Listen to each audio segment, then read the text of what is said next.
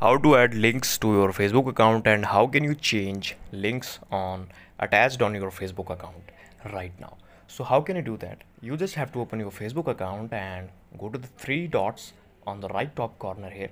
Just click on it and i will just click on my profile here. You can say this is my profile and like we will just go on profile settings. You can see this is my facebook profiles link I will just copy it from here and go to the edit profile option here.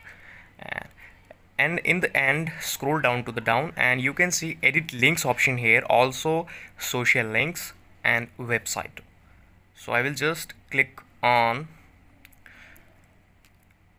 the application for which link I have to edit here so you can edit your username or edit your website also. Thank you so much for watching this video. If you found this video helpful then please leave a lovely comment in the